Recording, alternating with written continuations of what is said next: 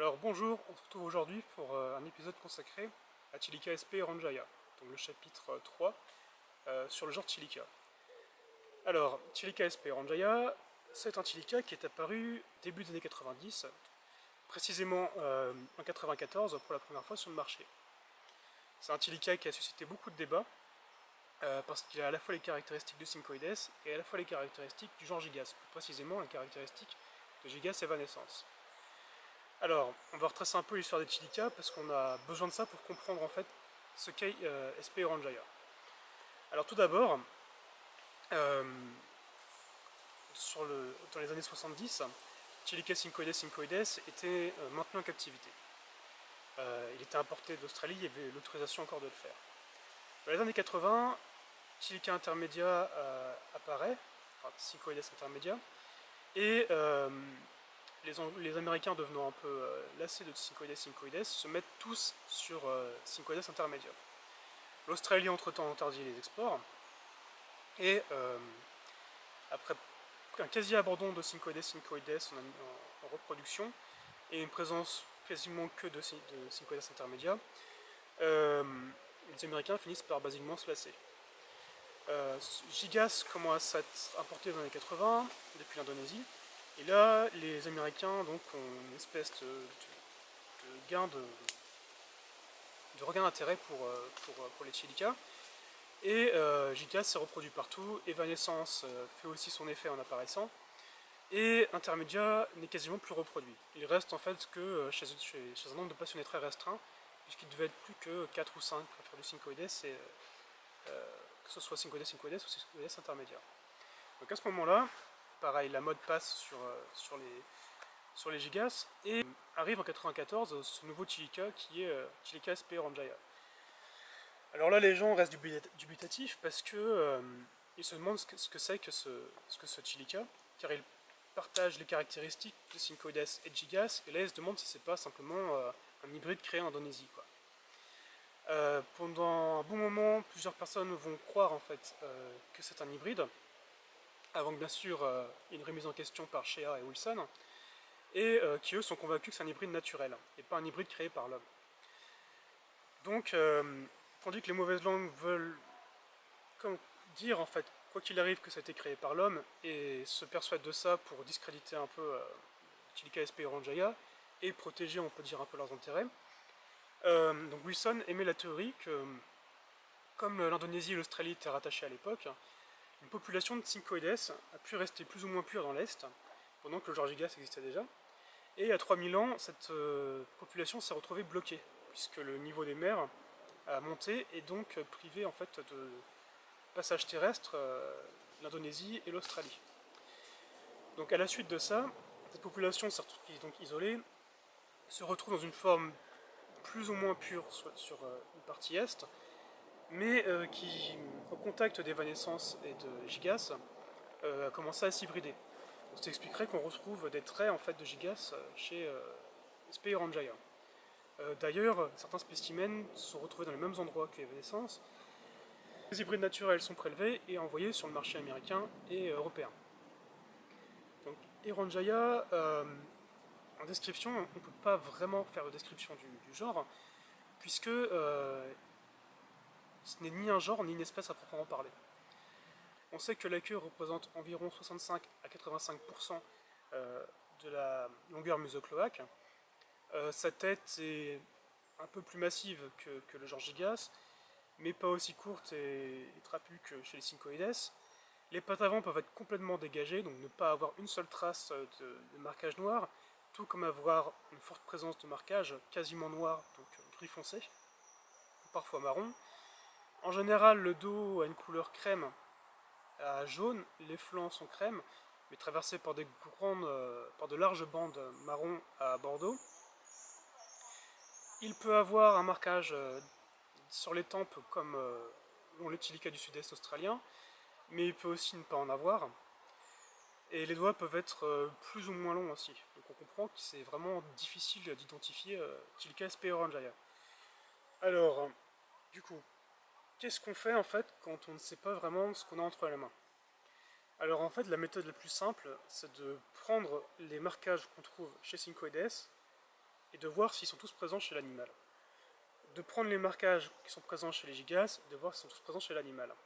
Si on voit en fait que dans les deux cas, il y a un petit morceau qui appartient à tel genre, ou un autre morceau qui appartient à l'autre genre, là on peut en déduire qu'on a, un, Iranjaya, puisque un syncoides euh, qui aura une queue normalement longue ne sera pas syncoides. D'ailleurs, sur les photos que vous voyez en ce moment, c'est un spécimen qui a été prélevé, et qui appartient à mon ami Stéphanie Lassen, et on voit clairement que la queue est trop longue pour un syncoides. Par contre, il a les pattes avant blanches, il a euh, les écailles rondes sur le dos, il a le bon nombre d'écailles sur, euh, la tête. Et donc là, en fait, euh, on peut pas dire que c'est vraiment difficile, même pour quelqu'un qui, a une bonne connaissance de Tilica, de ne pas se faire avoir si on ne voit pas l'animal en entier. Mais malgré ça,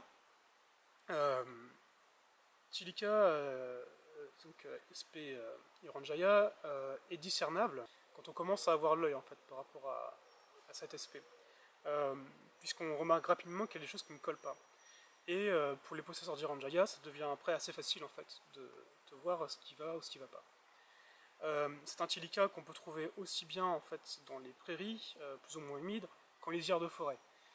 Et euh, d'après certaines sources, on les retrouve même en forêt. Donc on voit qu'il est complètement adapté euh, au milieu, euh, au, milieu, dans lequel il vit, sans avoir vraiment de, prédilection pour tel ou tel type d'habitat ou de terrain. C'est donc un Tilica qui, par conséquent, a une, grande adaptabilité et qui fait qu'en captivité, il est très très facile pour les débutants de, commencer avec lui. Malheureusement, souvent, on le retrouve euh, maintenu comme un Tilica syncoides voire Tilica syncoides intermédia, et il supporte des chaleurs qui sont trop hautes pour lui, et un environnement trop sec. Donc il le vit, bien, oui et non, puisqu'il fait, il le vit, mais euh, on va voir à l'apparence des écailles, à la perte des doigts ou alors euh, à des muqueuses qui vont être trop sèches, que en fait l'animal n'est pas dans son milieu. Alors c'est un animal qui aime s'enfouir en plus, comme il parle des tilica, et euh, qui a besoin d'une hygrométrie de 70% environ. Alors pour continuer euh, sur, euh, sur ces, signes un peu troublants, donc j'admets que la vidéo prend plus une apparence un peu de, discussion, sur, sur, le, sur le genre que de vraies fiches. Mais j'essaie de vous donner en fait un maximum d'informations qui peuvent vous aider en fait à maintenir votre Tilica SP Ranjaya et bien l'identifier. Donc désolé si c'est un peu chaotique. Donc c'est un spécimen qui à cause de toutes ces problèmes d'identification est souvent hybridé. Hybridé euh, déjà à l'époque par certains amateurs parce que certains ressemblaient tellement à Syncoides Syncoides qu'ils ont cru que c'était un Syncoides et ils l'ont reproduit à d'autres Syncoides qui a donné naissance à des premiers hybrides. De l'autre côté, il est souvent apporté sous d'autres noms que sa, véritable identité, et les amateurs vont le reproduire avec ce qu'ils pensent être syncoides. Et vu que la plupart des, des Tilica gigas sont aussi importants syncoides, on comprend qu'on se retrouve inondé en fait d'hybrides sur le marché. Et euh, à l'heure actuelle, l'hybridation qui, est venue avec euh, tout, toutes ces, erreurs en fait d'identification a fait que le marché en Europe est largement dominé par les hybrides. Euh, sauf bien sûr pour les imports directs, et encore, certaines fois on a de l'hybride sauvage. Donc ça me mène à vous parler en fait justement de ces problèmes, un peu d'éthique qu'il y a sur, euh, sur, sur, les, sur les hybridations, puisque certains, dans le but d'aller beaucoup plus vite dans la reproduction et dans la production de Tilica, n'ont aucun scrupule à prendre un gigas qui ressemble plus à Evanescence ou un gigas Evanescence qui ressemble plus à du SP Ranjaya, et au lieu de vraiment identifier les espèces, ils vont se dire celui-là ça ressemble donc c'est ça, et on va le mettre avec ça, et ça va nous faire, le, ça va nous faire basiquement euh, espèce voulue. En vrai ça marche pas comme ça, parce que euh, à force on a donc euh, des évanescences dont on ne sait plus si vraiment ils ont de, l'Ironjaya ou pas. Donc ça, il faut faire attention aux évanescences rouges, parce que euh, certains sont nés en fait d'une hybridation avec, euh, avec des Ironjaya colorés en Allemagne, et ont été distribués après en tant que purs aux USA et en Europe. Pour euh, Tilica gigas Evanescence et Tilica gigas gigas, on va retrouver aussi des mix entre les deux. Donc on va avoir vraiment des choses bizarres. Euh, par exemple, euh, ce que j'ai vu, c'était un Tilica gigas gigas qui était foncé sur le corps et jaune sur le dos, mais avec une tête complètement claire comme euh, Evanescence. Et donc maintenant, on ne sait plus vraiment où on en est. Ce qui fait que trouver du syncoides, syncoides pur, maintenant, hyper compliqué. est rare et qu'un vrai 5D 5DS vaudra plusieurs centaines d'euros, voire plus de 1000 euros. Il faut savoir qu'un 5D 5DS qui est sexé et bien identifié vaut 1000 à 1500 euros. Donc si on vous dit qu'on vend du 5DS, franchement, euh, si ça passe plus là, je suis désolé, mais refusez quoi, parce que là c'est, on se fout de votre gueule. Euh,